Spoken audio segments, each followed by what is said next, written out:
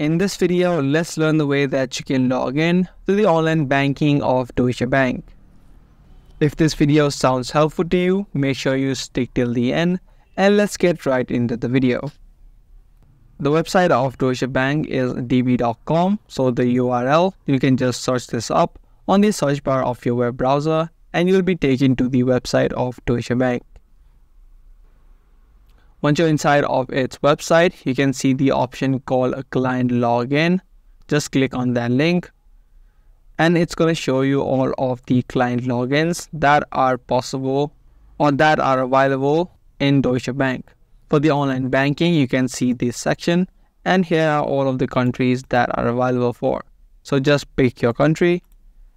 Now, depending upon the country, the login process or the login information that you need will be different as you can see for Germany, as you can see for Germany, it asks you for the branch number, the account number, the sub account, and the PIN.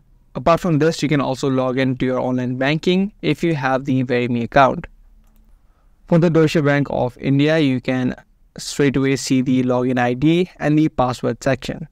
So depending upon your country, the information that you need to enter in might be different but you can just follow along and then enter in your information and then log in to the online banking of Deutsche Bank.